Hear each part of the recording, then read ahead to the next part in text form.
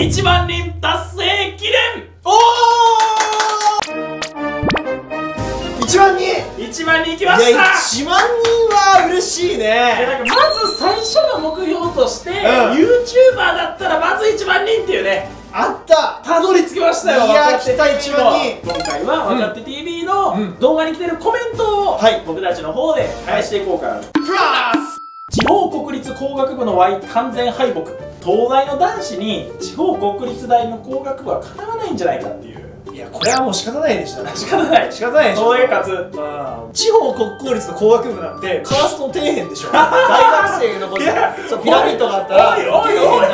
おいおいおい。何何？言い過ぎやろ。本当だから。言い過ぎやろ。心では思ってても直接口に出して言えないようなことをバンバン言ってくれるから最高。いやこれだよね。あそれ言いたいんだけどって言ってくれるから俺も気持ちいい。ここの距離で気持ちいいなんか あ俺それ言いたかったみたいな。世の中のみんなのうん。思いを代弁していかなあかんと思うよね。確かに。で政治家もそうや有権者の気持ちをうん。代弁して言ってくれたり実行したりするわけやんか、うん僕らも政治家やから。あ視聴者がこの女子大生学歴どうやってやろうなって思いを僕たちが言わないと誰が言うのっていう。大名おじさんだから。そう。僕ですね代弁おじさんやから。ね。いやなんか大きい。プラス。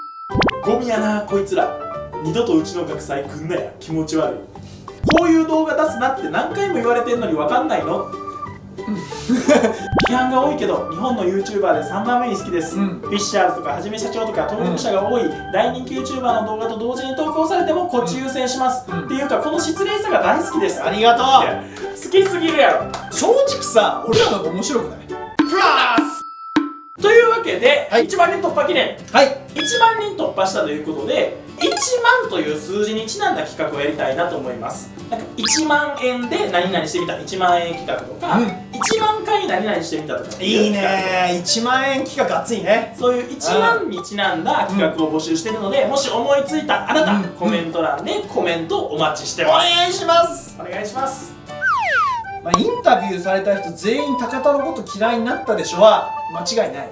うわーって言うやん。めちゃめちゃ言ってるよう失礼なわーって言うやん、うん。うん。で、あんま表情とか細かいところは見えてないわけよ、こ動画見るやん、とうん、うん、そしたらうわめっちゃこの子弾いてるやんみたいな。そこで気づいてた。そうそうそうやばいねそれは。高田にインタビューされた人全員高田嫌い説をやりたいんだそれ嫌やな辛いな。やりたい